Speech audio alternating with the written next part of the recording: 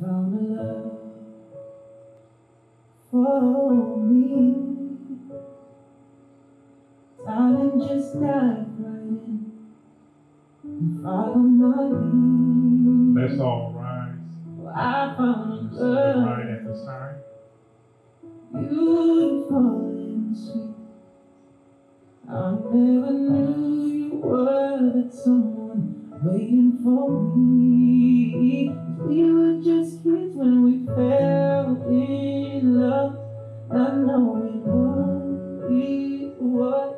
I will not give you up this time.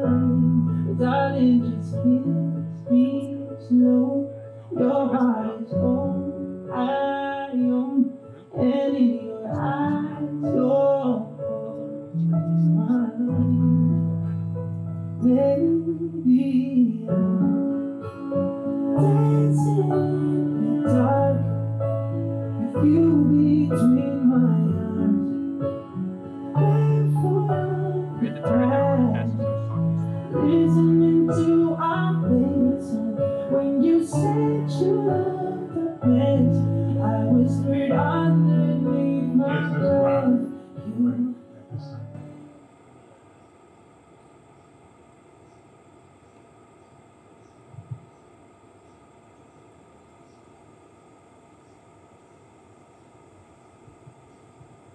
You all may be seated.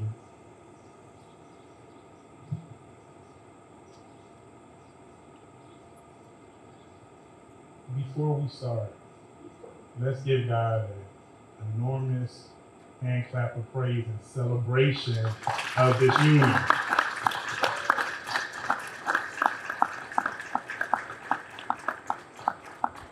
Dearly beloved, we are gathered here in the presence of God and this company to join together this man and this woman in holy matrimony. With all institutions on earth that have within them the possibilities for good, none is more important than home. Marriage was sanctified by God, honored by Christ, and it is to be respected and enjoyed by God's people. And it should therefore be entered into reverently, discreetly, and in the reverence of God. And to this holy estate, Justin and Alexis come now to be joined. Let us pray. Heavenly Father, we thank you for the joy, the beauty, the sacredness of this hour. We thank you for your love, which surrounds Justin and Alexis. Holy Spirit, you are welcome in the celebration of this marriage. And Father, we ask that your will will be done continually in the lives of Justin and Alexis. Satan, we bind any assignment that you may have against this holy union in the mighty name of Jesus. Amen. Amen. Before we go forward and Pastor Keisha going to be talking about, you can still, that's okay. Um, she's going to be talking about the definition of love. I wanted to talk to you about just for a few moments on the power of faith. In our last premarital counseling session, we actually had some things that we were going to talk about. We had some T's to cross and some I's to dot. But the Holy Spirit had us to minister to you about faith. And during that time, Alexis made a powerful statement when she said, there's, no, there's not going to be any faith breaks.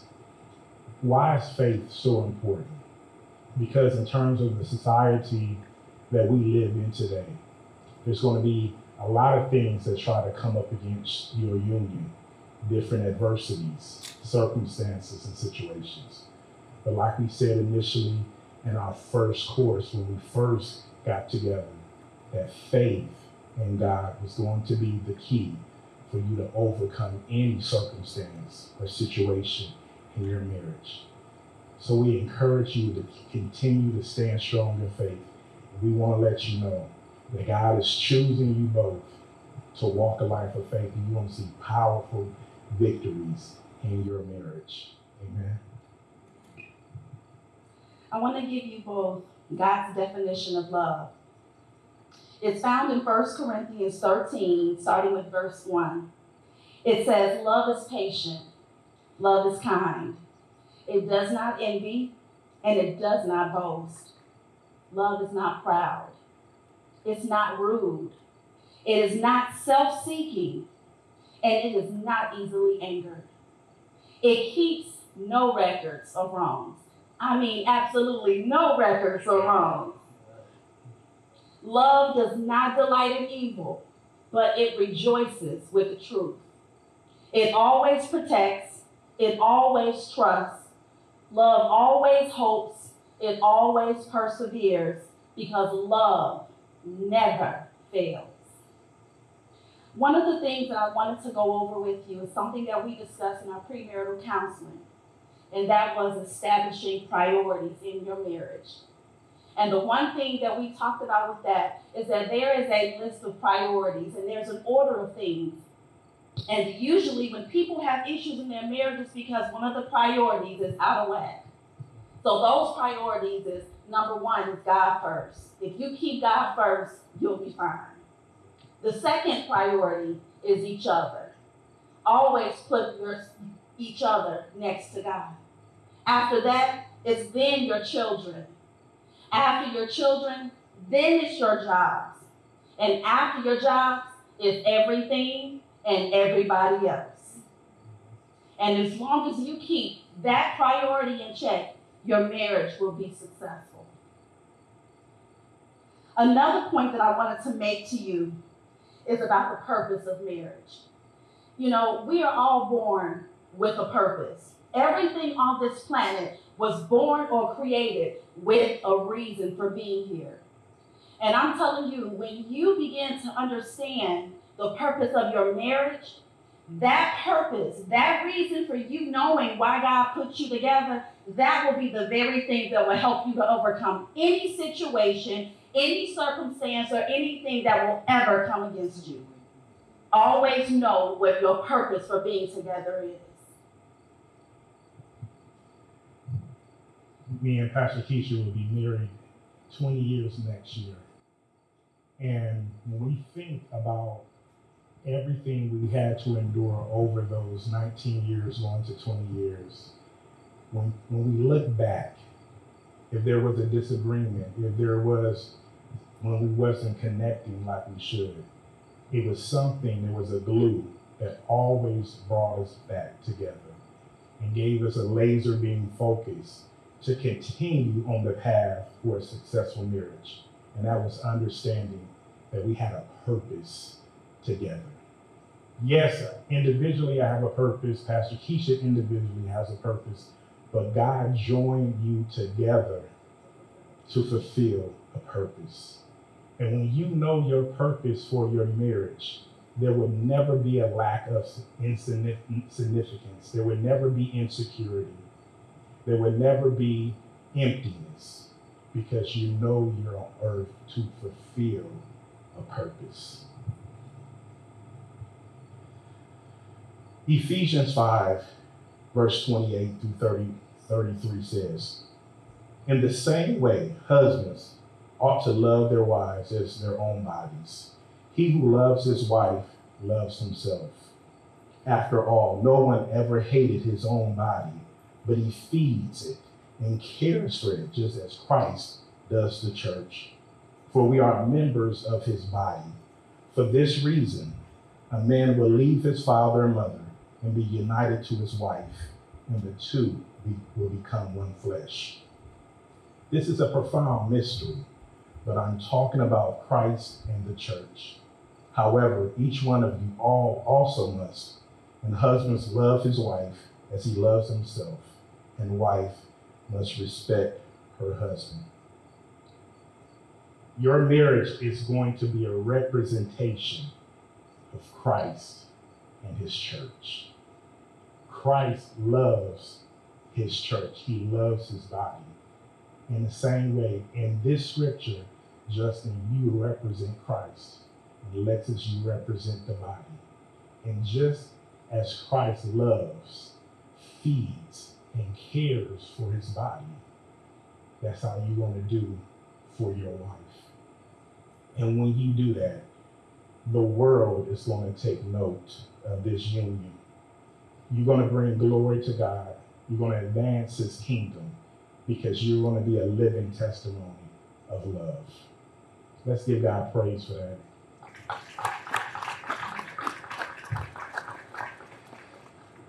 Now, again, Justin, we've been talking about marriage as related to Christ and the church. Now, who do you represent in the marriage? You represent Christ. And like Christ, are you willing to continue to love and care for Alexis? Amen. Now, Alexis, you represent the church.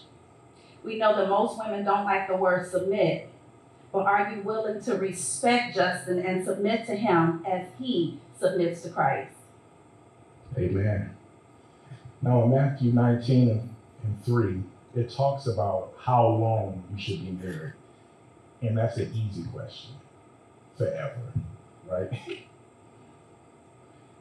Also, one of the most important things when it comes to a marriage, as we talk about love and faith, is agreement. Agreement is key. In Matthew 18 and 19, it says, Again, I say, if two of you on earth agree as touching anything that you ask, it will be done for you by our Father in heaven. Everything in life, when the enemy wants to try to come up against this union, he wants to try to come up against your agreement.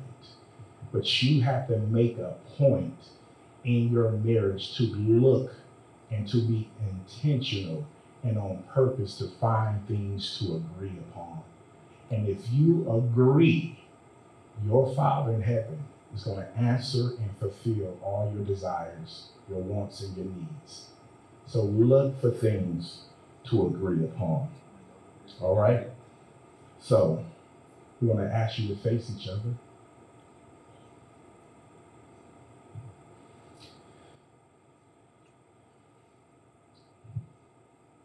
And I want everyone in the audience to point or to stretch your hands to this couple. And I want you to repeat these words. Say, Father God, in Jesus' name, I speak and I commit from this day forward to never speak a negative word over this union. I call this marriage blessed. And we are in agreement that this marriage is God ordained in Jesus' name. Amen. Justin, do you take Alexis Linderman as your wife, as your own flesh, to love her, even as Christ loved the church, to protect her and honor her for the rest of your life? Yes, I do. We'll make this profession of faith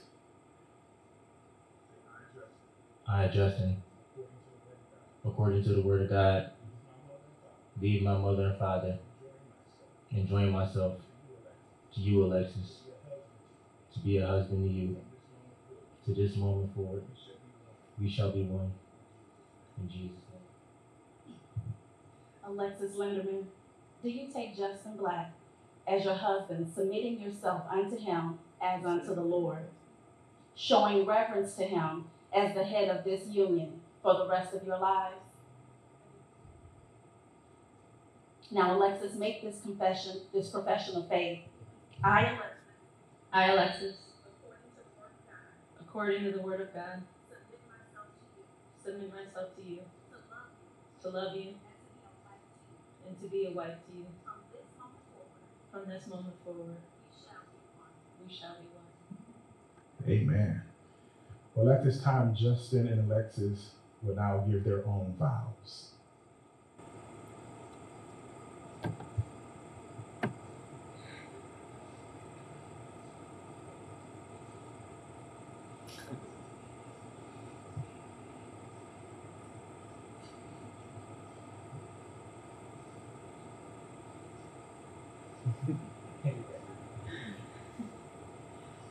Justin, You're my best friend, travel buddy, my home, and now my husband.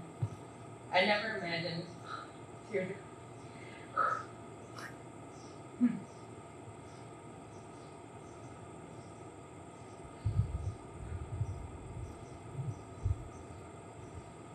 I never imagined finding someone like you. Someone who would love and accept all of me. I can be 100% authentically Alexis around you, and somehow you put up with me. Ever since the first time you held me, I've always felt that the safest place in the world was in your arms. You are my other half. You are my refuge. You gave me strength, courage, and motivation. For all the times that I'm hard headed and outspoken, I have four pages. you are next to me being kind, selfless, patient, and gentle. Compliment me in more, way, more ways than I can count. I still can't believe that you agreed to the crazy idea of writing a book with me. Sharing so many truths and pains as a way for us to get even closer and prepare for our marriage. You shared with me the deepest parts of your soul, revealing the deepest parts, your deepest fears, insecurities, and vulnerabilities. And still, you are the most beautiful person in the world. I love every piece of you, even the ones that you thought no one could love. I love everything about you, and I couldn't love you anymore. At least I thought so, but my love for you grows every day. I admire and adore you. You've helped me heal and grow through things I never thought that I could. We wrote a book together in five months and built businesses together. We are breaking curses while creating legacies. We are only in our 20s, and I can't imagine what God has in store for us. You taught me unconditional love, relentless faith, faith, and what Jesus' love on earth feels like. I didn't know what love felt like until I met you. You are faithful, humble, and obedient to God's word. I trust you to lead me and our family. It's ironic that we're getting married in 2020 in the middle of a pandemic. We've overcome so much, and this is just one more thing. 2020 has been our year of healing and growth. We can honestly get through everything together.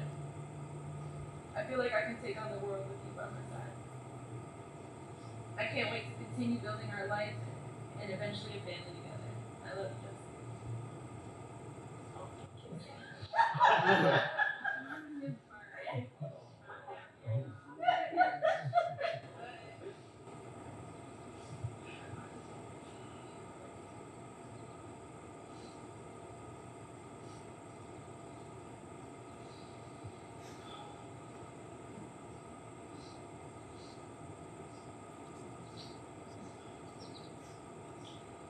It's amazing how God positions us in life.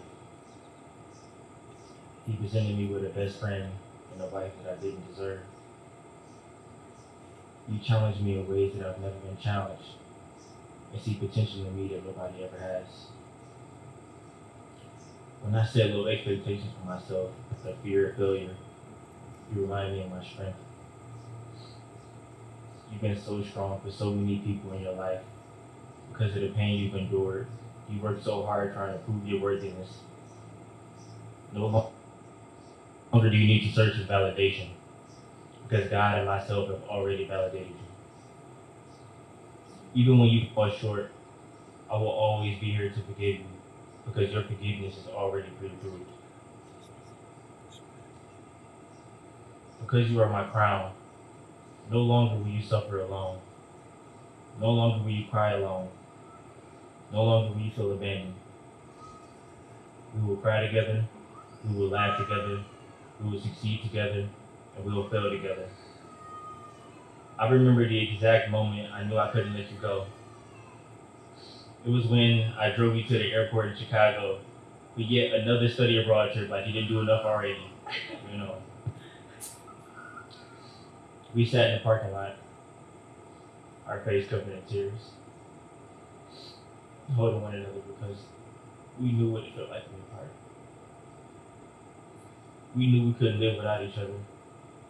And I drove home that day knowing that we would be standing right here one day.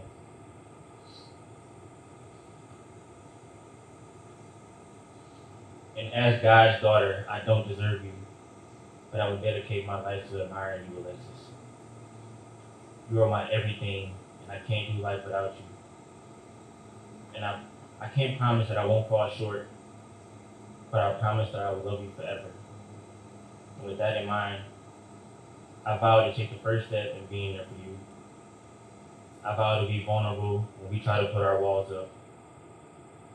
I vow to sacrifice my selfish wishes for the betterment of us. I vow to be emotionally available when you need me most. I vow to make you your favorite bowl of cereal when you get cranky. You know, the marshmallow fruit. But most importantly, I vow to be the man of God that you need me to be. And by giving me your hand in marriage, I thank you for trusting in me to be the father of your children and ultimately your life partner. Thank you, Alexis.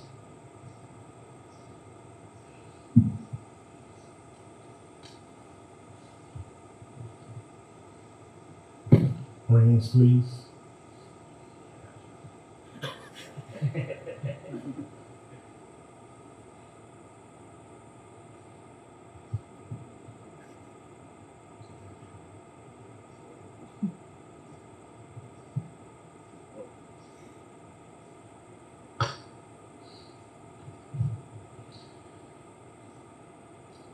Justin, take the ring and place it on Alexis's finger and repeat after me.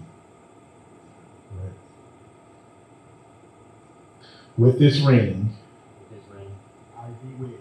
I thee wed. It is a token of my love for you It is a token of my love for you and a token of my faith and a token of my faith that I release over our marriage. that I release over our marriage. And I believe And I believe with all my heart with all my heart our marriage is forever. Our marriage is forever. In Jesus' name. In Jesus' name.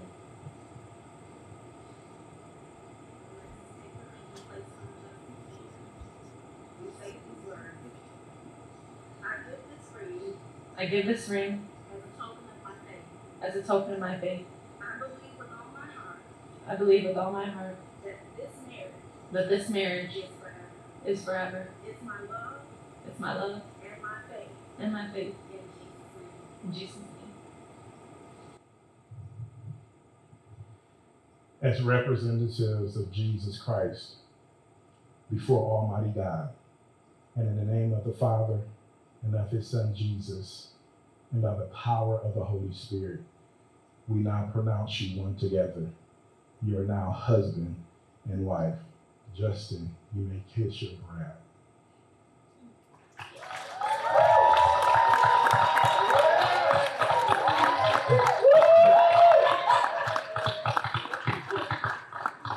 Okay. So you're going to turn around and face the audience. And at this time, Alexis and Justin will conduct a sand ceremony, which represents two people coming together as one. Unity and agreement is the key of power of the Father, Jesus, and the Holy Spirit. Therefore, we declare that unity will be your key, that nothing will be impossible for you.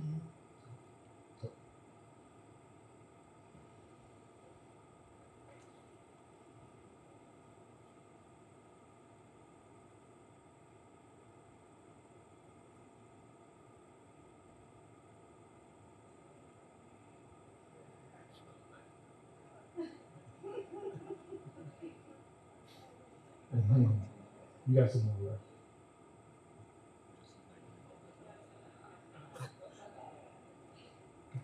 Okay.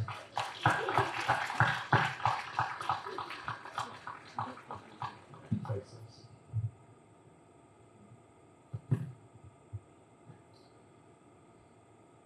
We're going to pronounce the blessing over this marriage.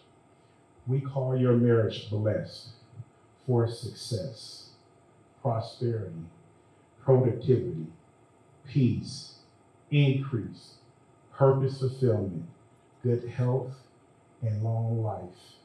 You are blessed in Jesus' name. Let's give God praise. Amen turn around and face the audience. Oh, Hold hands.